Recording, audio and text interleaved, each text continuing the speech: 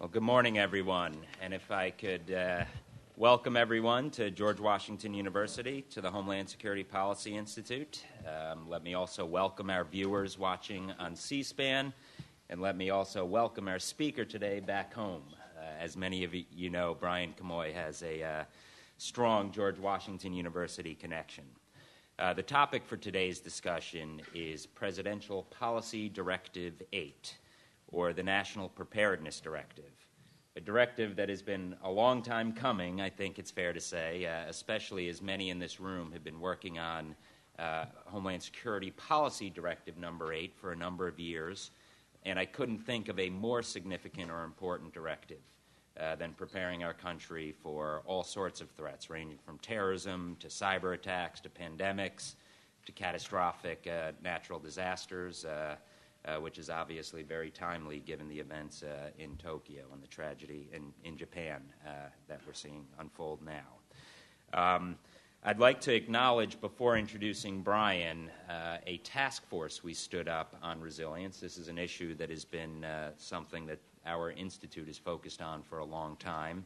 Um, and earlier this year, we stood up a task force chaired by Dave Paulison, Mike Balboni, and my deputy here, Dan Kaniewski. Um, and I'd like to thank ICF for their contributions uh, to, to assure the, that we can do the hard work and the heavy lift uh, that, that goes into that task force. But the purpose for today is to, to hear from Brian Kamoie. And Brian, I've known for a number of years.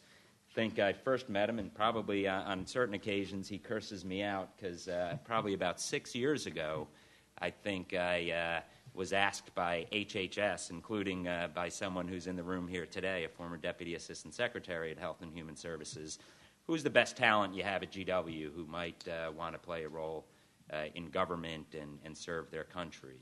And at that time, I put together, I put forward a couple of names. One of those was Brian. And uh, uh, as you can see, he has continued to move up and up and up and up the ranks. Um, he served as a deputy assistant secretary at Health and Human Services. Um, and it's kind of interesting given now that he oversees uh, some of these presidential directives from a White House perspective. He saw it from both perspectives. At the time, he was uh, looking at it from a departmental level uh, as well. So, um, uh, and before and after uh, leaving HHS, he's now the senior director for for preparedness at the National Security Staff at the White House. And uh, it, uh, I think it's going to be publicly announced today at noon, or publicly released today at noon, the uh, policy directive. But it's here in hard copy. And for those of you who are here, you have a hard copy. Uh, without further ado, I'm going to turn it over to Brian, and Dan Kaniewski will moderate the session given uh, his historical role on all of these issues, including in the previous administration, uh, the same uh, that I served in. So, Brian, thank you for joining us, and uh, I'm excited to hear what you have to say.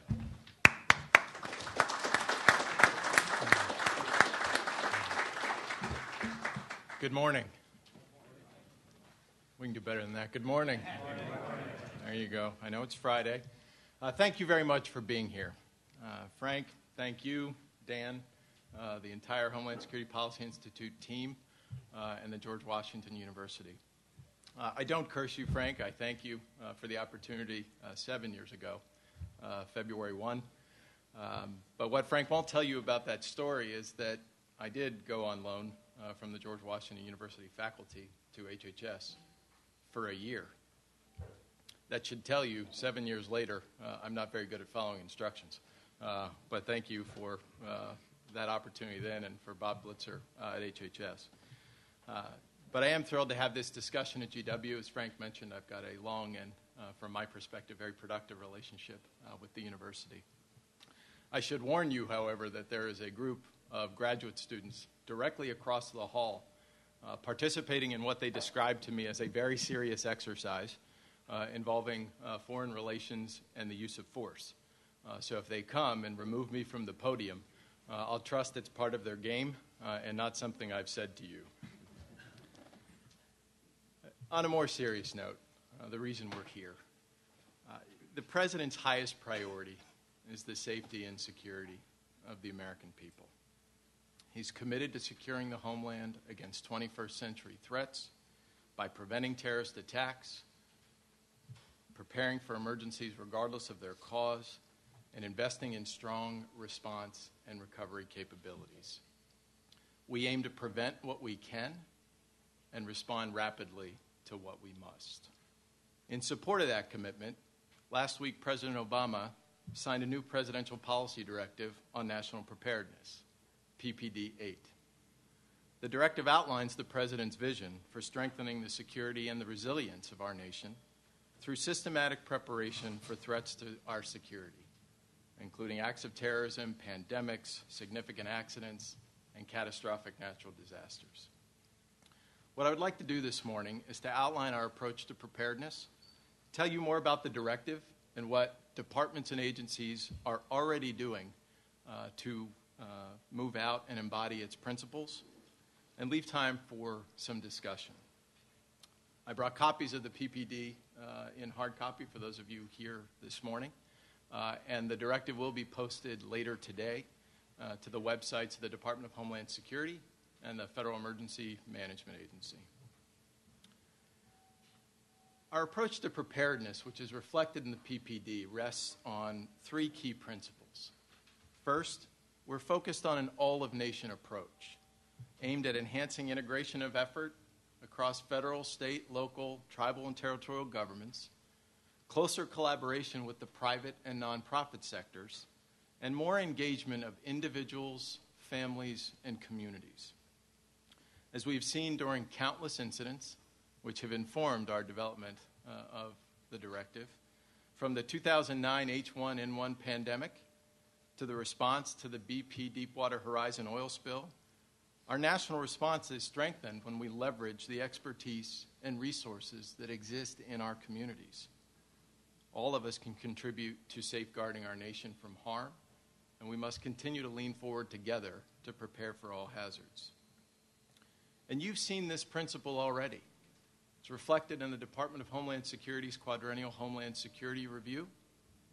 It appears as a cornerstone of our approach to health security reflected in the National Health Security Strategy of the Department of Health and Human Services.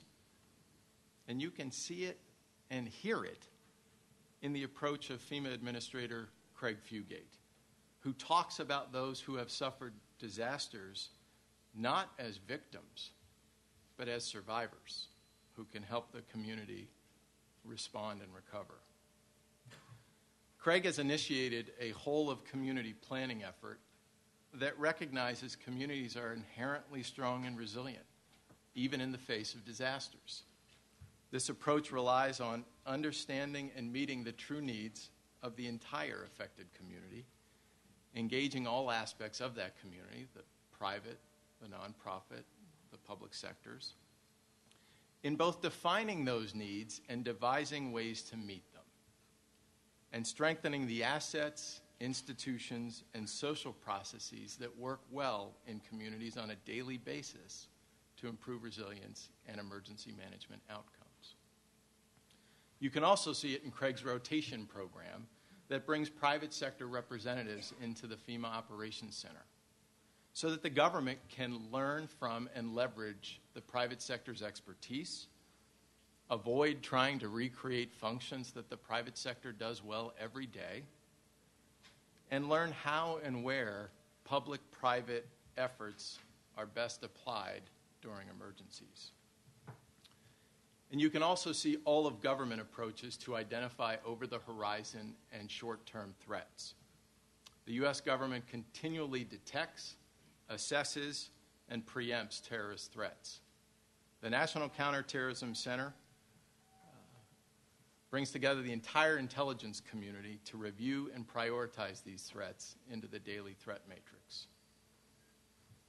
So, across the federal family, the focus has turned outward to how we integrate our efforts with one another and how we integrate better with the communities we all serve.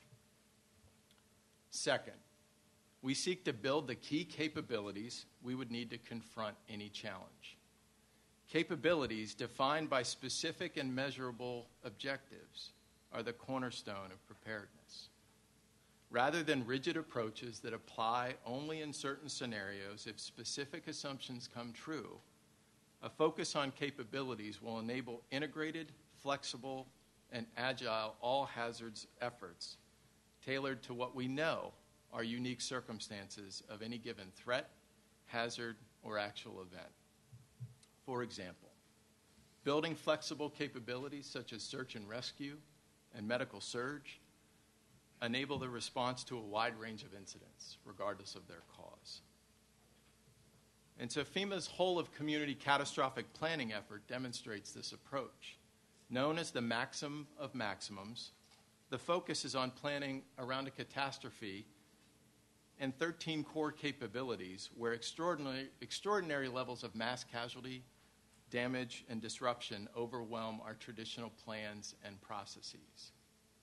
This effort is a concrete step in making the all of nation, whole of community principle real in operations. Another example comes from the Centers for Disease Control and Prevention. Just a few weeks ago, the CDC released 15 capabilities to serve as national public health preparedness standards to assist state and local public health departments with their strategic planning. Third, we are actively pursuing more rigorous assessment systems that are focused on outcomes so that we can measure and track our progress over time. We simply need to do better in articulating our current level of preparedness and demonstrating what innovations have worked. FEMA and HHS are very actively evaluating their grant programs, aligning them around the outcomes to be achieved, and seeking to clarify program guidance so that we have even better data to answer key questions such as Are we prepared? How would we know? And how better are we this year than last? And so, consistent with these principles, we undertook a comprehensive review of our national preparedness policy. As part of that review, we spoke with 24 national associations that represent a wide range of stakeholders including a variety of disciplines law enforcement, public health, emergency medical services, emergency management, the National Guard. And I'm pleased to see that a number of representatives from those organizations are with us this morning. And we also evaluated our preparedness policy in light of the requirements of the Post Katrina Emergency Management Reform Act of 2006. The result of that review is the policy we announce today which replace, replaces Homeland Security Presidential Directive 8 of 2003 uh, and its Annex 1 of 2007, but for a few minor exceptions that are noted uh, in the new Presidential Policy Directive, or PPD. The directive calls for the establishment of na- an overarching national preparedness goal that identifies the core capabilities necessary for the spectrum of preparedness which encompasses five broad mission areas prevention, those capabilities necessary to avoid, prevent, or stop a threatened or actual act of terrorism. Protection, those capabilities necessary to secure the homeland against acts of terrorism and man made or natural disasters. Mitigation, those capabilities necessary to reduce loss of life and property by taking steps to lessen the impact of disasters response, the capabilities necessary to save lives, protect property and the environment, and meet basic human needs after an incident occurs. And recovery, those capabilities necessary to assist communities affected uh, by the incident to recover. And these capabilities will be defined in terms of risk and objectives. First, the risk of specific threats and vulnerabilities which will aim to define, using objective risk factors, who needs a capability, where, and how much that capability is needed, and why. And concrete, measurable, and prioritized objectives to define what needs doing, how much, how fast, and for how long, based on a critical few specific performance objectives that will define each capability. The directive also calls for the development of a national preparedness system to guide activities that will enable the nation to meet the national preparedness goal. The specific planning, organization, equipment, training, and exercises needed to build and maintain domestic capabilities, what you all recognize as the preparedness cycle of effort. And with respect to capabilities, we heard clear feedback from our stakeholders. One size does not fit all, and communities have differing needs based on the risks they face. That said, we believe it important to come to agreement on a few critical, few priority capabilities that most communities will share. For example, medical surge, uh, information sharing, so that communities can concentrate on what they realistically need instead of a one size fits all approach or a one size fits none approach. This focus on capabilities will also drive the evolution of our planning efforts, which will seek to identify how we can most effectively mix and match our capabilities where needed to be the most agile and flexible in our approach. And so the PPD requires capabilities based planning frameworks across the five mission areas I mentioned prevent, protect, respond, recover, and mitigate. As you know, we have a national response framework, uh, which is currently in the process for review and revision. The National Disaster Recovery Framework uh, is a requirement uh, already provided in statute.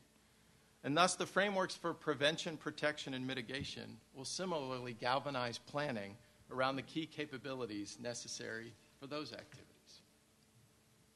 That said, the intent is not to produce unwieldy and long documents that merely take up space on our shelves. Our stakeholders were also quite clear on the need to streamline and rationalize all of the guidance documents and plans. Because we recognize, and at the local level especially, that the same person who has to develop the plans, the documents, and the grant application packages that we call for is the same person who has to respond to the next fire or the next heart attack. And so we want to move away from overly burdensome requirements. And thus we will aim to continually streamline and simplify. There are many federal departments and agencies that support activities across the national preparedness spectrum. And the PPD specifies a number of roles and responsibilities. Notably, the Department of Homeland Security will undertake the interagency efforts to develop the National Preparedness Goal, system, and annual report. These are multidisciplinary efforts by design and will default, involve many departments and agencies. We've also, in the PPD and otherwise, placed a renewed emphasis on individual and community preparedness, which we believe is a cornerstone of our national resilience. The public plays a critical role on our nation's emergency management team in every type of incident.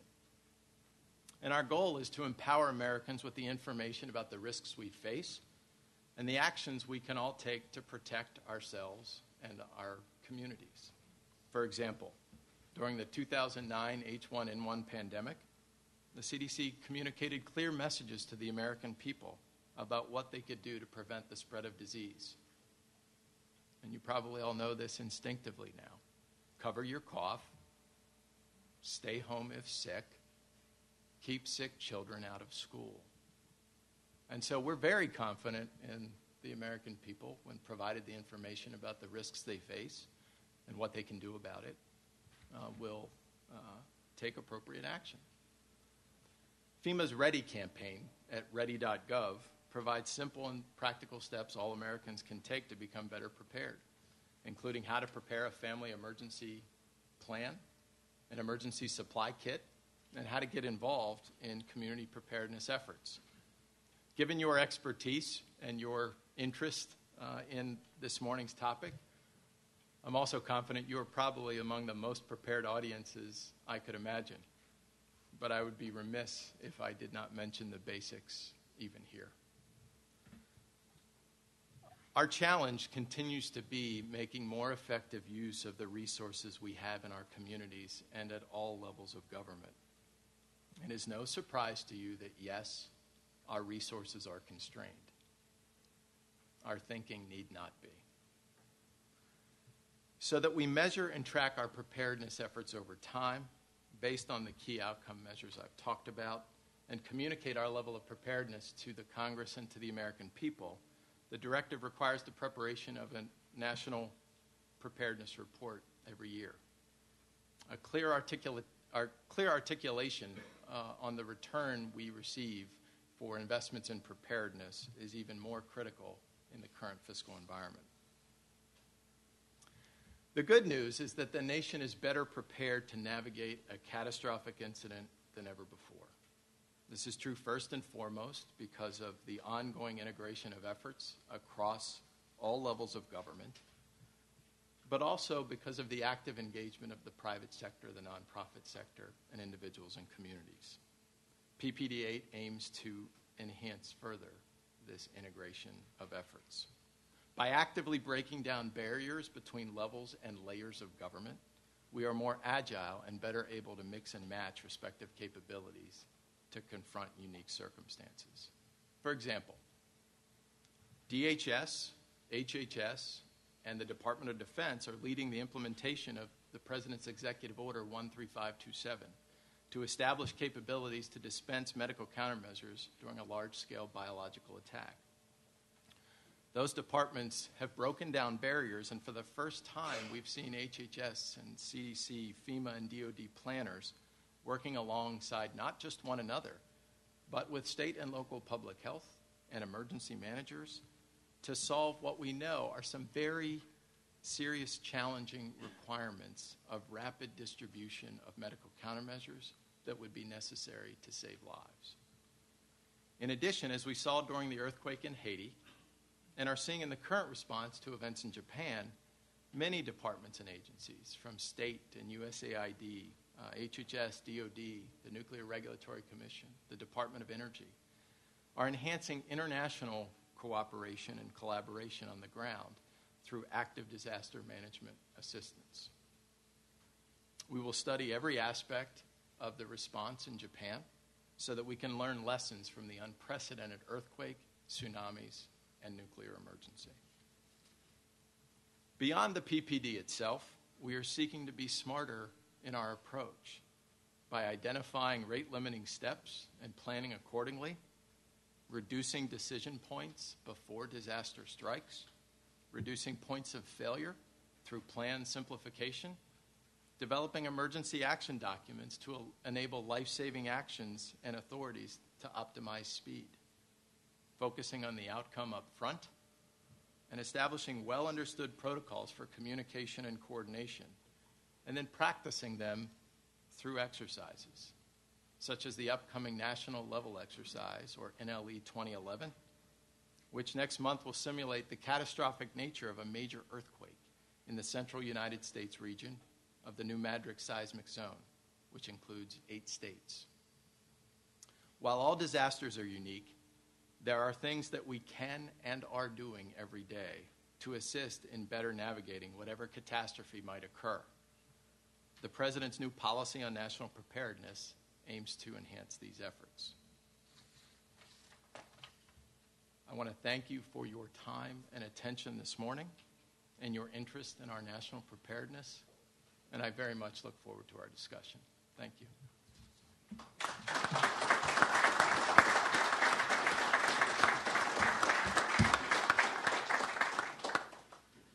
Thank you, Brian. That was a great overview of the uh, directive and also of preparedness in general.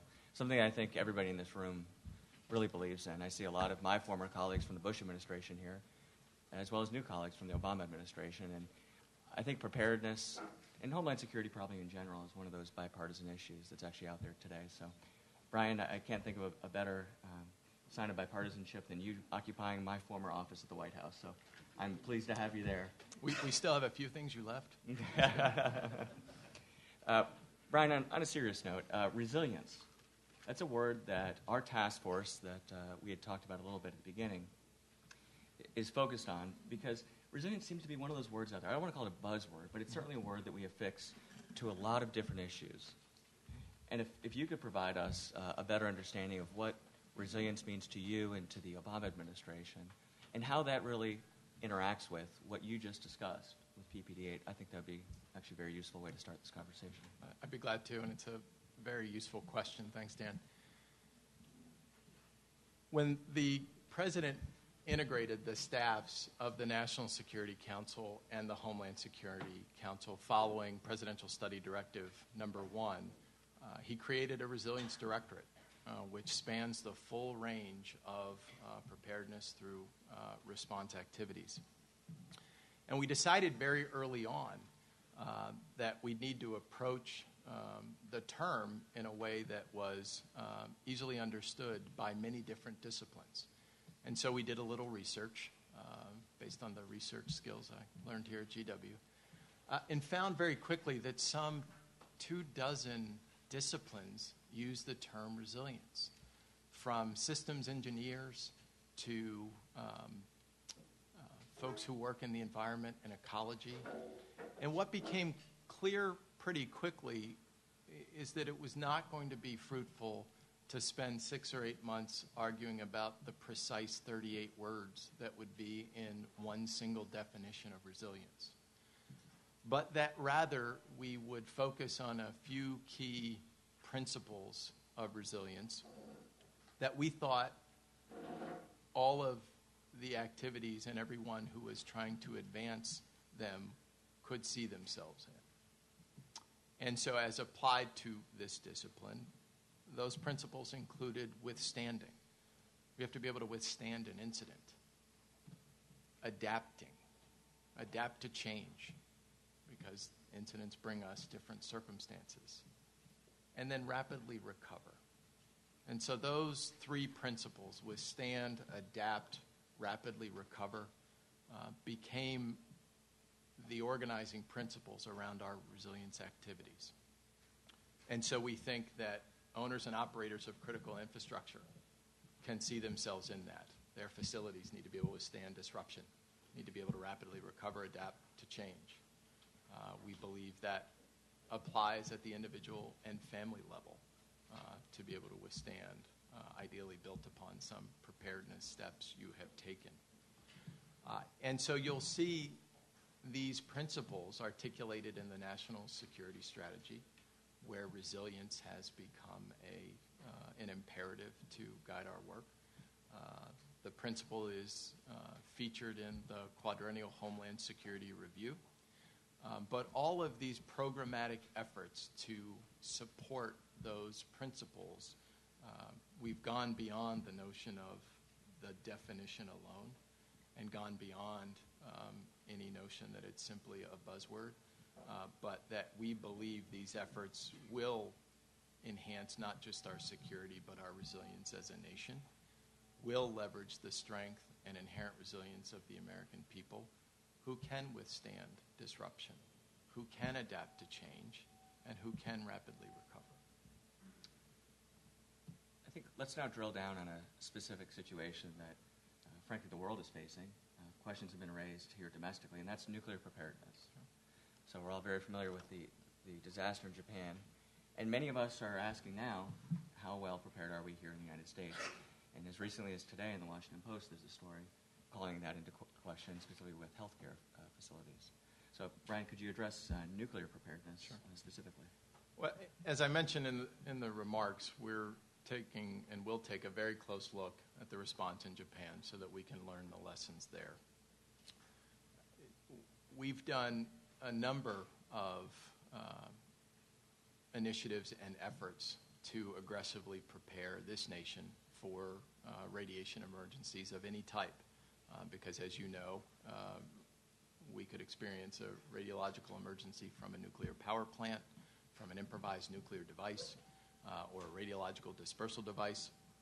But I'll just highlight a few of those efforts. Uh, in June of last year, uh, we issued the second edition of planning guidance to uh, state and local colleagues for um, preparedness for an improvised nuclear device, which includes planning considerations for sheltering in place, for evacuation, and for communicating with the public uh, ahead of these kinds of events. As you know, the key message to uh, community in any kind of incident would be the same, and that is follow the instructions of your uh, local emergency management, your local leaders, uh, who obviously have the best uh, information about what's happening on the ground. Uh, but we think it very important to communicate with the American people ahead of these kinds of events.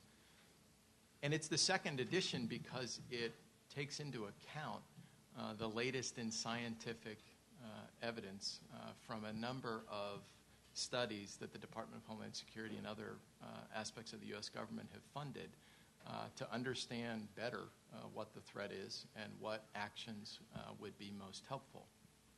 Because the guidance on whether to shelter in place or evacuate may differ depending on the type of event.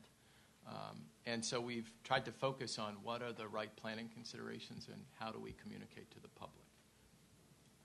The national level exercise or NLE process in 2010 uh, actually focused on events related to uh, radiological emergencies, uh, including a September 2010 exercise that included state and local government uh, around the accidental release of radiation from a nuclear power plant. Um, and just uh, a few weeks ago, uh, the CDC convened, after two years of planning, I might add, uh, a conference on preparedness for uh, radiological emergencies that involved 450 uh, state and local uh, radiological preparedness experts. Uh, and so, even during the midst of uh, a response where those folks and their technical expertise were needed at home, they all assembled in Atlanta to discuss our preparedness for this. and so, again, that was planned well in advance, which led us to ask our colleagues uh, what they were planning for two years from now, just so we could be ready. Um, but we've taken a number of steps to improve our preparedness for uh, a wide range of radiological emergencies, uh, but we will take a very close look at what's happening in Japan so that we learn. Absolutely. I think it would be, uh, for all of us, uh, you know, who went through Katrina, it's, it's always a, a difficult conversation to compare anything to Katrina. But the key there is that we want to make sure that our government learns from those mistakes. Do, do you feel today that we are better prepared as a result of Katrina, and can we become even higher, again, even higher level of preparedness as a result of what happened in Japan? Well, I, I don't want to make comparisons to specific events because they're each unique in their own way. Um, but that really shows us why the focus on capabilities is what we believe is the most effective way to approach this that if we build out certain core capabilities, we'll be able to respond to a wide range of incidents. And so uh, we know that um, based on guidance and planning and organizing, training, and equipment, uh, that local emergency managers, local public health, local law enforcement uh, can put those things together in ways that they need to uh, to respond in the most flexible and agile way. Um, so uh, I think this approach of focusing in on key capabilities, being very clear about the outcomes we're attending, intending to achieve, uh, will make us even more prepared. I'd like to take some questions now. Uh, as we're waiting for the microphone to be passed around, please raise your hand if you'd like to ask the question. I'll look at my task force first uh, if anybody would like to uh, ask a question. So, Marko, uh, before, the microphone is back there. So, Marko, right here, Sorry. the front row. And I will say, uh, again, a special thanks to our task force members who have been working these issues, and we look forward to uh, putting out our first report very soon. So, Marko, please introduce yourself. Marko Bourne, uh, Booz Allen Hamilton, and on the task force. Uh, Brian, pr- applaud the administration for getting this out. I know it's been a long and uh, difficult process, but certainly, hopefully, will prove to be a productive one. My question really revolves around measurement of preparedness. Mm-hmm. As part of the National Preparedness Report, that has to be done um, you have to base it on standards, definitions of various levels of preparedness for capabilities, et cetera, for planning. The challenge has always been agreement on what those measurements ought to be uh, across the federal government, state, and local government. Mm-hmm. What do you view as the next steps to achieve some discrete set of measurements um, that folks can actually agree to, buy into, and therefore apply resources for so they can be measured? Well, obviously, it's engagement of the stakeholders uh, with a focus on uh, what the key capabilities are. Uh, the CDC, for example, did that. Uh, if you go to cdc.gov, I'm sorry, I don't recall the exact page, uh, but you'll see the 15 uh, capabilities that working with their uh, stakeholders at the state and local level, they said, you know, these really are um, the core things we need to focus on in terms of building capability, the ability to do medical surge, the ability to distribute and dispense medical countermeasures. Uh, it's a, uh, an engagement process with stakeholders, and so the implementation of the directive uh, is the next step. Those consultations in the development of those measures is where we go from here. Um, but it certainly recognizes that we can't do it all here at the federal level. There are not federal solutions in terms of, um, you know, we identify for every community what we think they need. Uh, they understand their risks.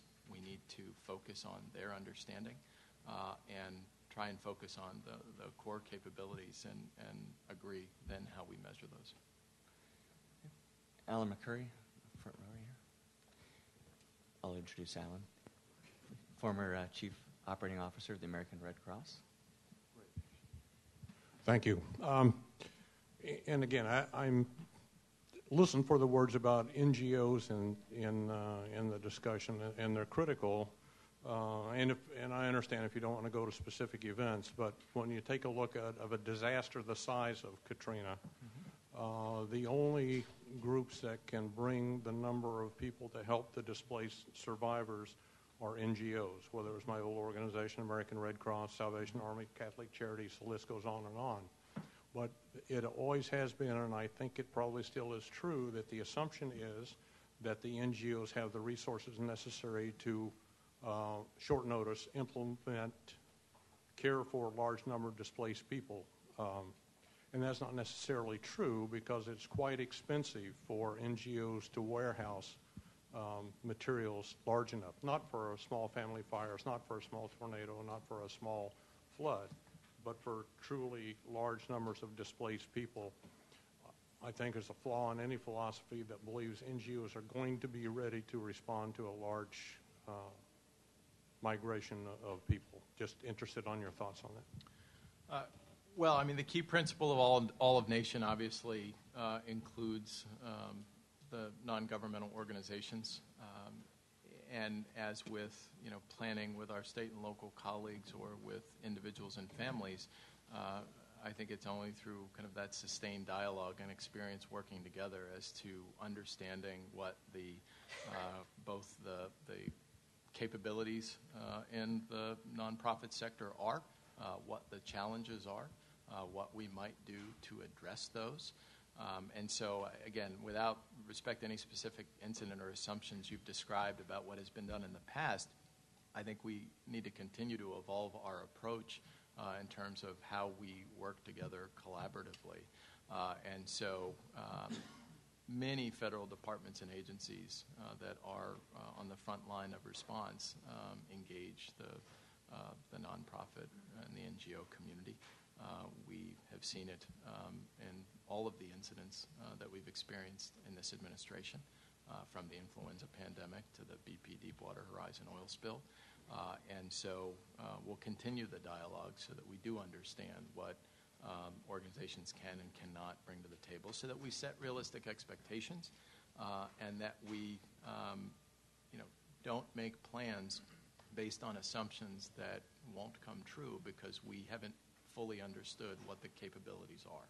Uh, and so I take the point uh, that further understanding and collaboration are needed, uh, and we'll aim to do even more. Great. Uh, the next question, Don Loren. Wait for the mic. I'll introduce you.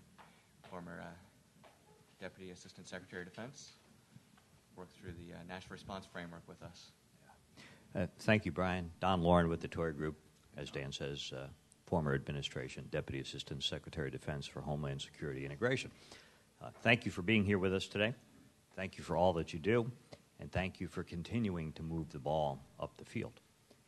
Um, one of the uh, the difficulties associated with much of the fine work you have done and the things you've talked about here is that even at the interagency level, as Dan and I would sit at the old DRG, inevitably the response you would get from many agencies when you would discuss the need for this type of preparedness and planning and uh, capability development uh, was, well, is that covered under the Stafford Act?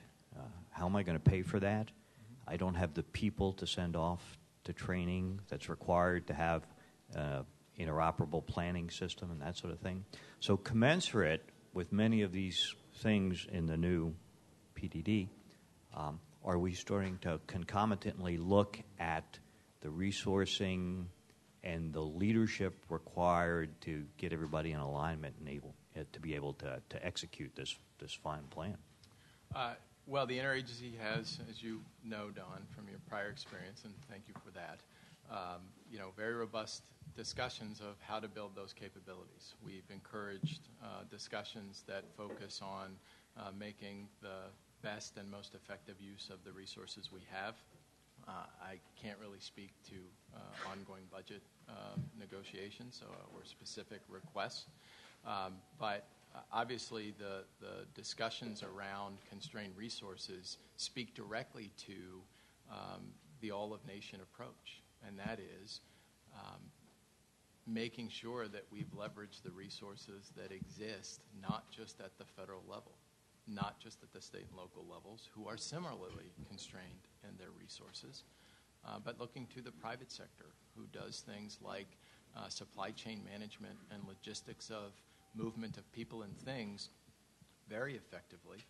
Uh, and so leveraging those resources as well, making them part of the community planning effort um, the non-governmental organization community. And that's not um, with an intent to shift cost. Uh, that's with an intent to leverage those resources because those folks want to help. Um, they are members of that community. Uh, it is in their uh, personal and professional interests uh, to be um, actively engaged in the uh, response to and recovery from incidents at the community level.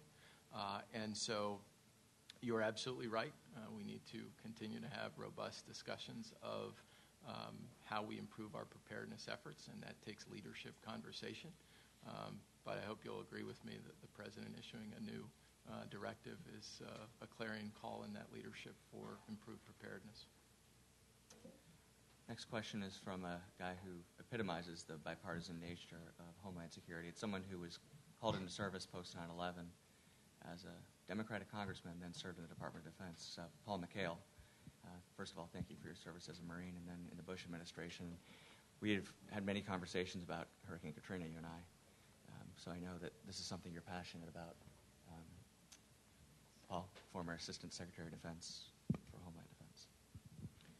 Dan, good morning, and thank you for the kind words. Brian, good to see you again. Good to see you, Paul. Thank you. Uh, Brian, as I review PDD 8, it seems to, and your remarks I think corroborated this, seems to move away from the scenario based planning of HSPD 8 Annex 1 toward capabilities based planning.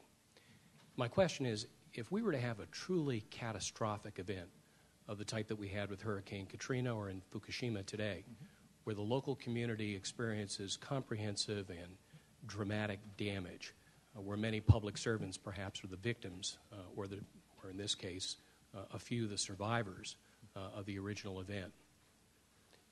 In light of that damage at the local level, for instance, in New Orleans, one third of the police department uh, did not report to work after the event occurred.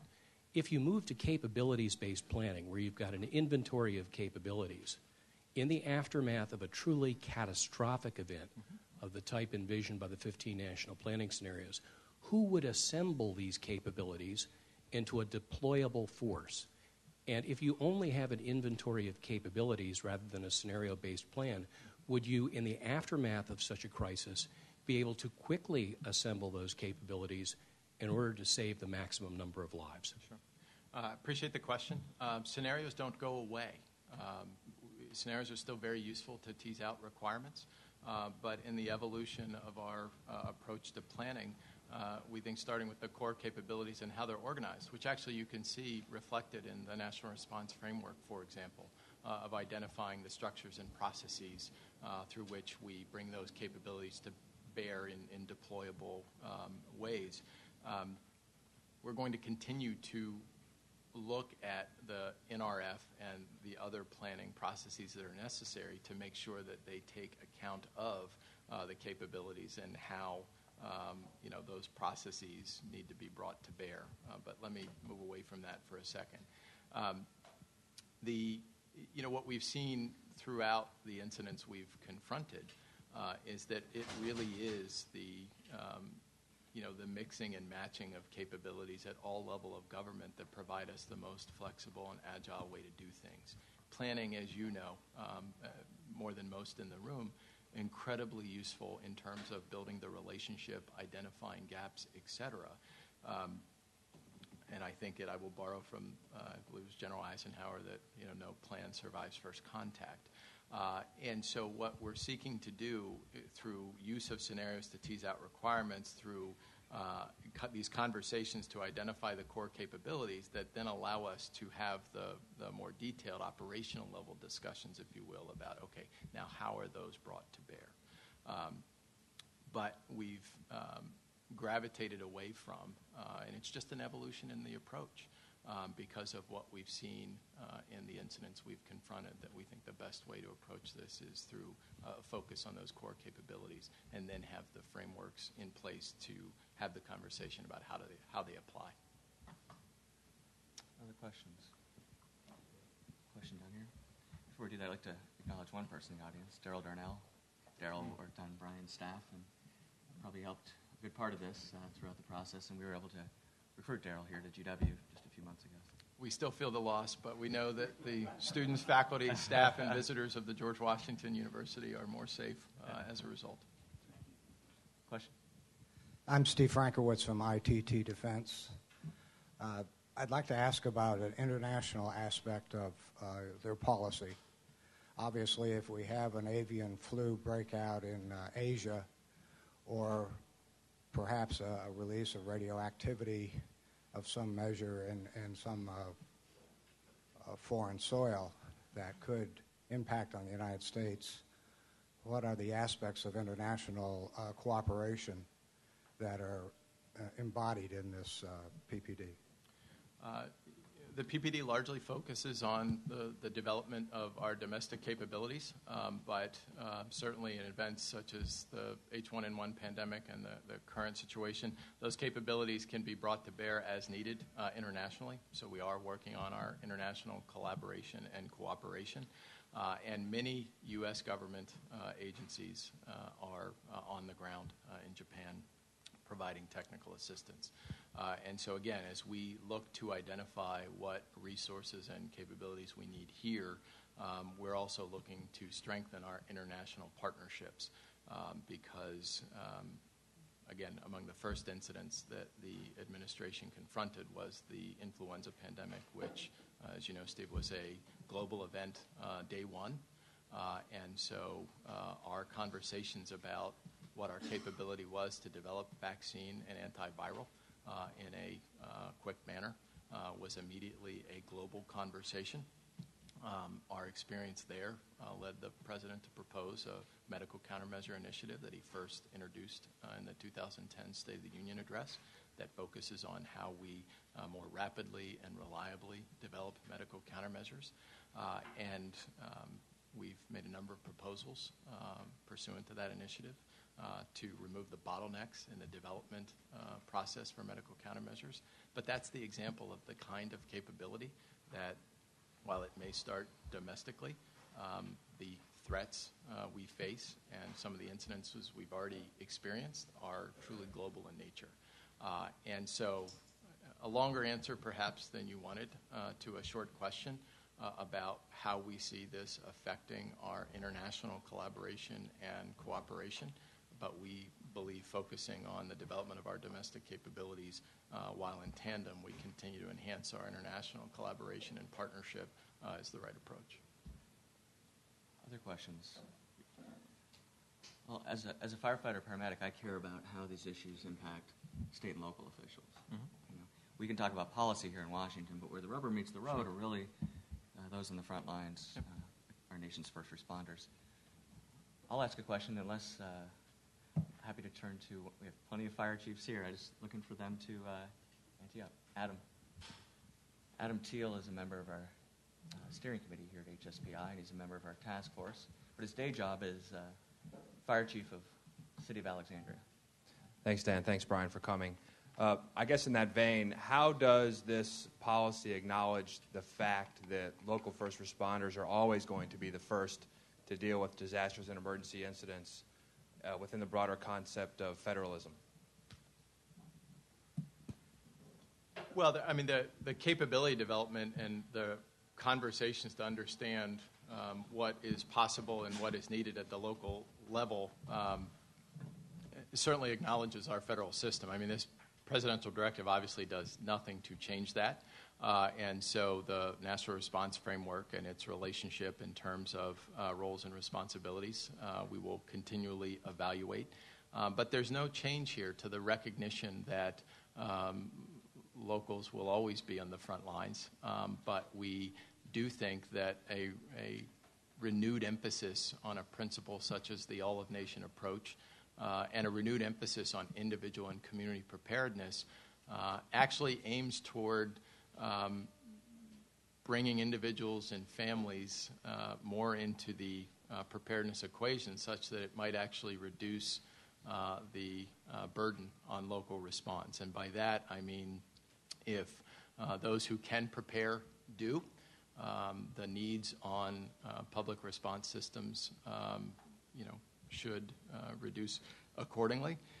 and so the PPD recognizes that there are respective roles in the Federalist system, does not change that. Um, but it also recognizes we, we truly do need to understand uh, from our uh, state and local colleagues' perspectives what are the risks they face and how do we help them most effectively build the capabilities um, with that understanding in mind. Other questions? We've talked, uh, I guess, about federal government, state, local government, NGOs. Seems like the private sector is up, right? Anybody from the private sector want to ask a question? Okay, I will just ask the open-ended question. How does the private sector fit into this? Uh, well, I mean, first and foremost, the private sector are members of their community, uh, and we see that, and we recognize that they have uh, the same interests we do in uh, withstanding events, uh, recovering uh, rapidly, and adapting to change.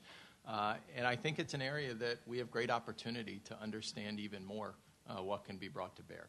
and so the example I gave, and it's one of many, uh, where Craig Fugate has a rotation program for executives to come into an operations center because it's you know it's it's a language issue. Um, the private sector may not fully appreciate, um, and it's an observation. It's not a criticism. May not fully appreciate what, what goes on in an operations center. What are the types of questions that government is asking? What are the immediate actions that the government is attempting to take? And how could the private sector's expertise assist in that effort? Uh, on the other side of that equation, um, we may be attempting in government operation centers to recreate functions um, that we have neither the expertise nor time to deliver, and that exist in the private sector and are available for you know the discussion to understand what is there. Uh, and so we believe the private sector are members of the community. They have an interest in protecting their employees. They live there. Um, and we think there are resources there that uh, bear further exploration and conversation. Uh, and so we think it's an area for uh, great opportunity for advancement. Uh, and so we'll continue those dialogues. My last question will be on next steps. My mm-hmm. assumption is that this is beginning rather than the end. In other words, there's a lot of uh, directives uh, in this directive that will have to be carried out by departments and agencies and likely through interagency processes. Can you describe how that will occur? Uh, absolutely. We move into an implementation phase, but as I already mentioned, uh, because the uh, conversation with the interagency with our stakeholders uh, really did shine a light on some key principles, departments and agencies have already moved out uh, according to some of these principles uh, in developing some key capabilities around certain disciplines uh, in engaging uh, the private sector and engaging individuals and families more. Um, that's not to say there is not, uh, you know, a, a, good deal of additional effort that is now required. uh, to implement uh, the president's direction. Uh, but the best news is that uh, departments and agencies did not wait um, because these principles were uh, important to them as well. Um, they've started to take action already, uh, and so we will move into the implementation phase with departments and agencies and the further outreach to our uh, state and local uh, colleagues and individuals and families uh, to enhance our national preparedness. Brian, let me present this token of our appreciation, the HSPI coin. Oh, great. And you. thank you for uh, being here today, Brian. Oh, thank you very Appreciate it. much. Thanks all.